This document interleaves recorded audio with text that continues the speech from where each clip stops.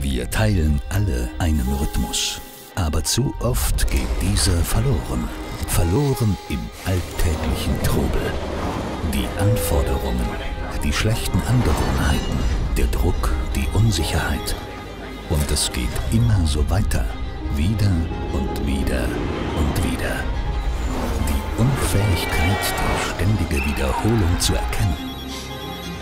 Kein Gedanke daran, einmal zu pausieren. Durchzuatmen. Aber was, wenn wir das täten? Was wäre, wenn wir uns einen Moment der Achtsamkeit nehmen und unseren Willen zur Veränderung stärken? Erkennen, dass wir etwas ändern müssen. Egal wie groß oder klein. Präsent zu sein. Diesen Rhythmus nochmal zu hören. Den, der uns erlaubt, unsere innere Balance zu finden. Zu atmen.